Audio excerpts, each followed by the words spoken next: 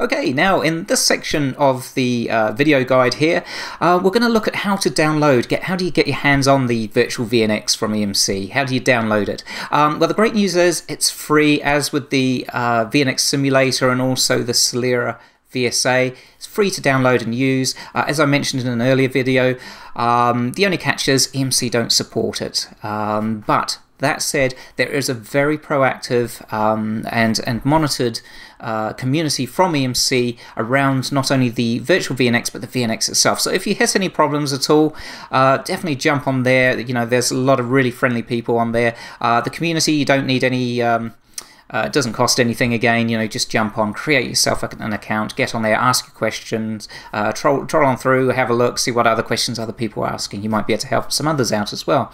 So, although there isn't any official EMC support for the virtual VNX, like I say, there's a really good community around that. Now, one other thing I will show you on EMC's uh, software download, download site, it's not only the virtual VNX on there. Um, gone are the days EMC take a completely different approach now to you know getting hold and trying out their their products. Um, as with most things out there, everything's you know a lot of the products, not only from EMC but also other um, uh, vendors out there, is going virtualized. I mean, it's this whole thing about the software defined uh, data center that no doubt you've heard that term banded around quite a bit uh, in the media and press. So um, as such much. I mean, a lot of these products that were, you know, available only as a very expensive um, appliance, uh, well, uh, expensive for a, you know, for a home lab environment or a work lab environment.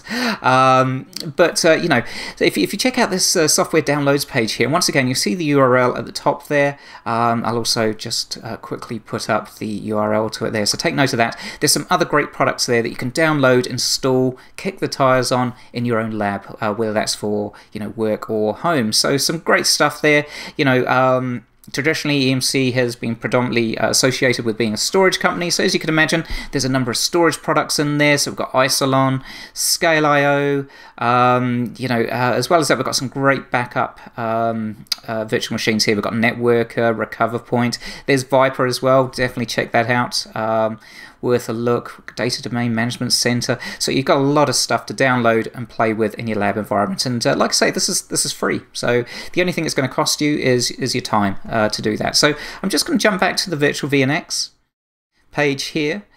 Um, so here we go. Uh, as it mentions, it's for non-production use. It doesn't have any time limits as well. Quite often, you know, vendors will get you to download their software, but it'll be good for 90 days, and then you've got to reinstall it again. That's a real hassle. So you don't have this problem here. The prerequisite with it, um, we covered that off in the last video, uh, but just to reiterate again, um, your environment needs to be running ESXi server release version 5.5 or later. Now I'm actually running it on vSphere 6, which is at the time of recording this video the latest version. Um, a couple of things here. It says, look, RAID, run it on hardware RAID controller uh, with 512 um, megabytes of, um, of battery back cache, no doubt, etc., um, etc. Et Two gigabit uh, gigabit Ethernet ports. Now um, that's in the perfect environment. That's what they recommend because obviously EMC want you to get the best experience for this. So you know they want you to um, uh, not fall foul of you know installing it on a system and then it not performing well and that reflecting badly on the product.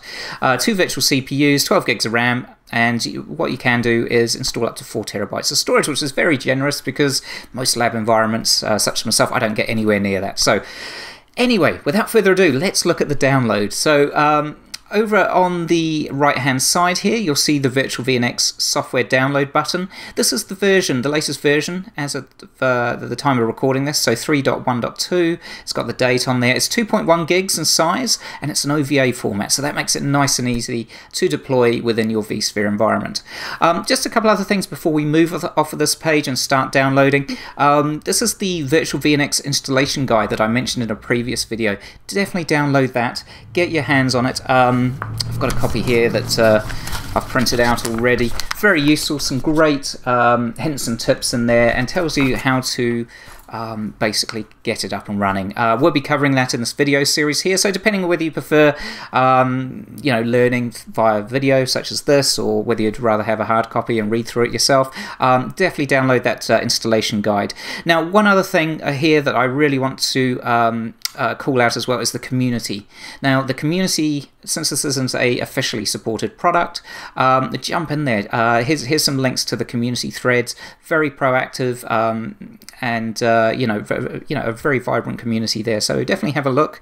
Um, so let's click on the link to download like so. So what you'll need for this is a EMC uh, login account. Now, uh, I work for EMC, but I just want to show you that you don't need special privileges. It is free to download. Um, that's my personal email address. Well, not my personal, but the uh, my blog um, email address there um, that I'm going to use, just so you can see that uh, you don't need any elevated privileges. If you don't have an account already, get yourself one, definitely. You'll need it for the community as well. Um, but uh, as you can see on the right hand side here, if you're a customer or partner already, you can uh, use that link. Otherwise, if you don't have any affiliation with EMC at all, you just want to try it out, just click on that second link there, register. It only takes, uh, you know, a minute or two tops.